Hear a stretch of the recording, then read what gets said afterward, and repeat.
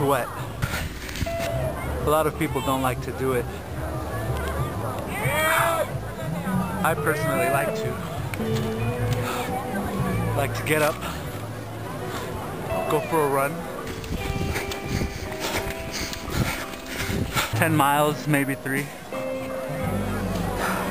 And sweat. People don't like to show off their sweat. Some people like to lick it off you.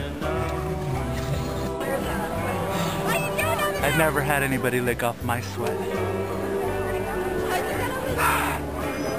I wonder what it tastes like.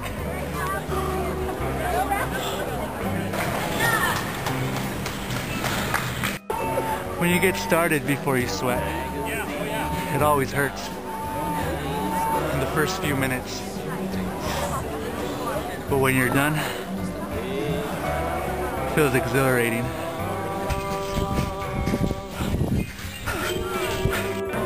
And all you want to do is take a shower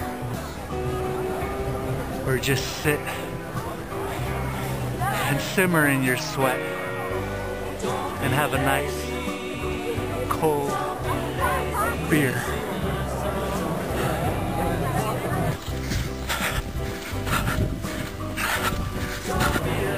So go out and do something that makes you sweat.